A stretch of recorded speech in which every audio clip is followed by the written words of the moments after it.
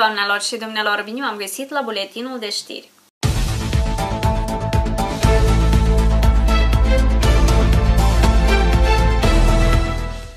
În următoarele zile, vremea se va răcea accentuat în țară și mai mult ca atât vor cădea fulgi în nordul țării în zilele de miercuri și joi. Detalii la subiect aflați imediat. Vremea se va răci accentuat în țară în următoarele zile, iar pentru zilele de miercuri și joi se prevăd ninsori.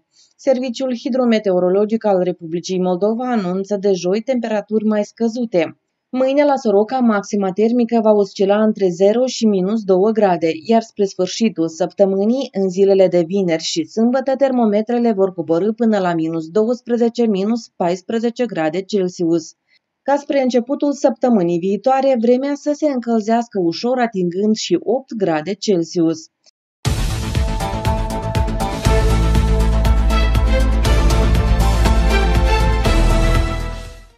Ansamblul de muzică populară Rezeșii din satul Vărzărești, raionul Nisporeni, impresionează publicul din raion, dar și din întreaga țară, mai bine de 20 de ani. Despre acest ansamblu, dar și altele la tema aflați imediat de la colegii noștri.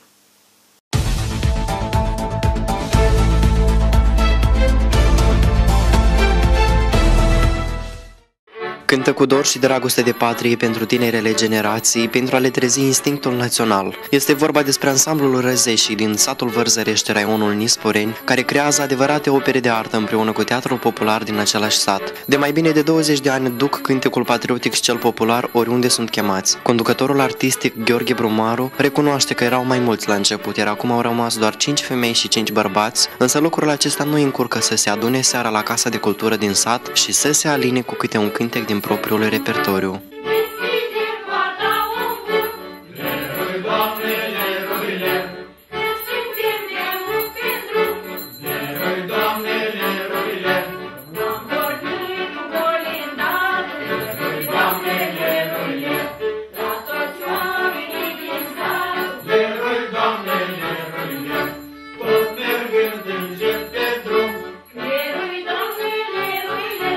Cred că de mic copil mi-a plăcut arta, N-am avut posibilitatea așa să mă manifest, să particip în alte teatre populare, dar aici am văzut că se primește câte puțin și cresc și eu câte puțin și am îndrăgit acest lucru și vreau ca și generațiilor care vin să le altoiesc acest, această dragoste față de tot ce e frumos. Întrebat de ce cântă, un membru al ansamblului a dat cel mai frumos răspuns posibil.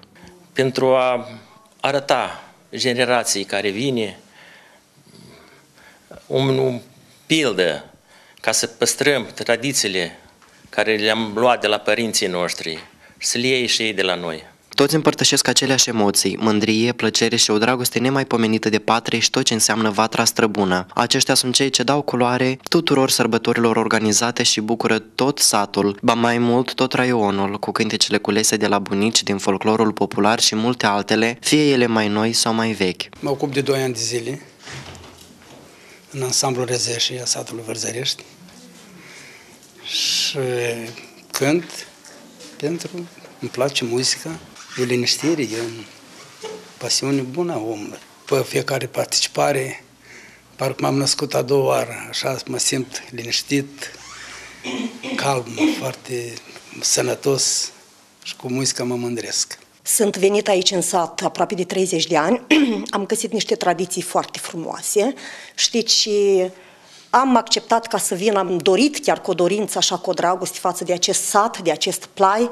Deci am venit ca să ducem mai departe tradiția strămoșilor noștri. Rămân totdeauna cu o, o experiență, cu niște impresii foarte frumoase, plăcute, profunde, fiindcă mă bucur faptul că deci suntem pentru, aducem pentru oameni dragostea față de plaiul acesta unde trăim, dragostea față de cântecile noastre, dragostea față de, de tot ce ne înconjoară. De aproape un an din cauza pandemiei, ansamblul nu a mai participat la niciun concurs sau manifestație, dar acest lucru nu îi împiedică să se adune spre seară și să mai repete câteva cântece pentru a-și unge sufletul cu mirea folclorului atât de îndrăgit de toți. Se simte plăcerea cu care cântă, iar acest lucru este foarte important. Acesta dă dovadă că tot ce se face, se face cu suflet.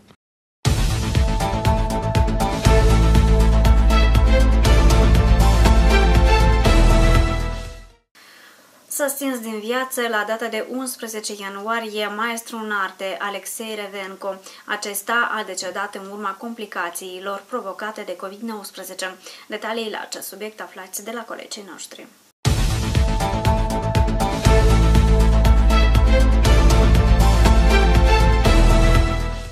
Astăzi, 11 ianuarie, la ora 6 dimineața, s-a stins din viață maestru în artă Alexei Revenco. Jurnalistul ar fi decedat în urma complicațiilor survenite din cauza infecției COVID-19. Prezentatorul și-a consacrat întreaga viață radioului și televiziunii, activând peste 40 de ani în domeniu. Alexei Revenco fusese distins cu Ordinul Gloria Muncii și titlul onorific Maestru în Artă. Omul cu o voce inconfundabilă, Alexei Revenco, este originar din satul Bădiceni, raionul Săroca. El a absolvit școala medie din localitate, iar ulterior își continuă studiile și devine crainic și jurnalist cunoscut de toți de la mic la mare. Acum sunt singur, cu clipa înțepenită în perete. Poate o să adorm și tăcerea va putea să înceapă. El va rămâne în memorie ca un om de înaltă măestrie profesională, voce deosebită, om de o rară cum se cădenie și simț al umorului deosebit care făcea sărbătoare oriunde era.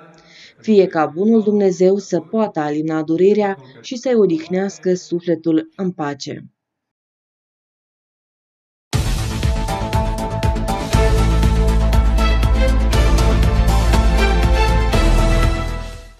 Căușenenii vor trebui să selecteze gunoiul, cel puțin asta își propune primăria orașului în comun cu ONG-urile care implementează pe teritoriul urbei un proiect de construcție a mai multor platforme de gunoi. Despre aceasta mai multe aflați din reportajul următor.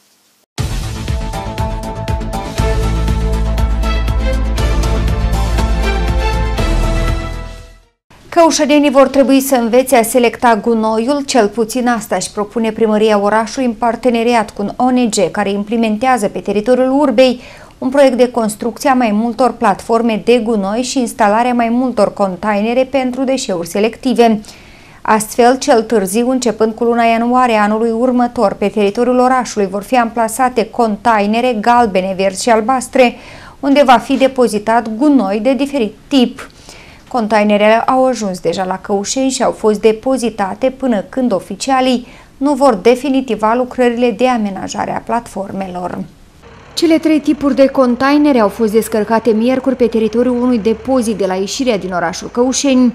Acestea sunt din plastic și au o capacitate de peste 1000 de metri cub fiecare. Cele pentru hârtie vor fi de culoare verde, galbenele sunt pentru plastic, iar cele albastre pentru alte tipuri de deșeuri. Asta se capac dublu pentru hârtie, care să nu deschidă capacul, spune hârtie, adică fiind deschide orificiu mai mic, care să fie foarte util pentru cetățeni.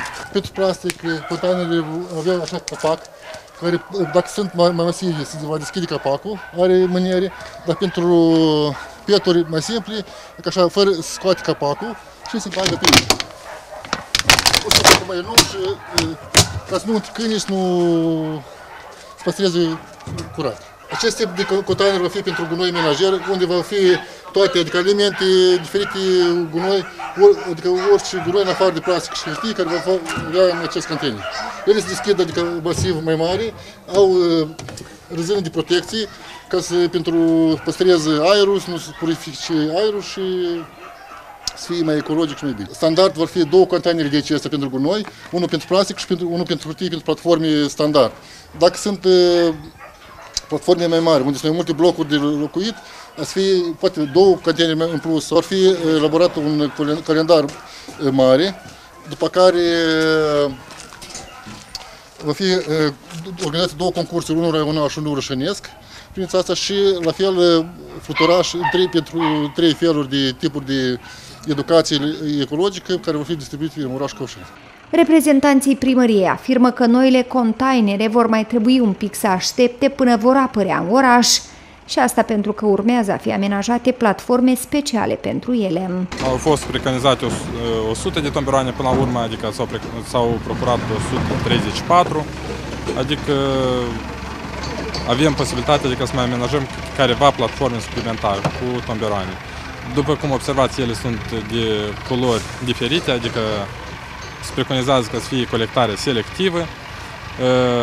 La moment se duc unele, spun așa, tratative.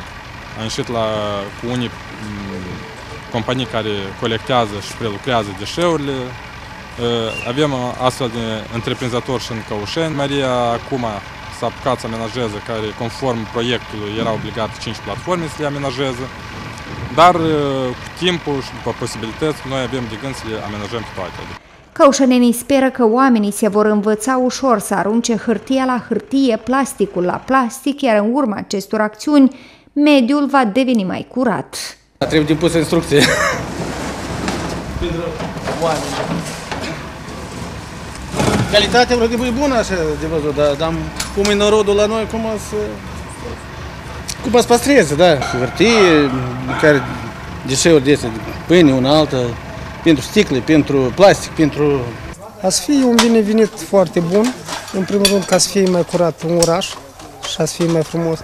A să fie un pic mai greu până să învețe lumea, până să, să, să deprindă mai ușor unde să arunci hârtia, unde plastic, unde gunoi menajat. În rest, Potrivit responsabililor, costul unui singur container este de 3600 de lei. Acestea vor fi oferite cu titlul gratuit întreprinderii salubrizare și amenajare.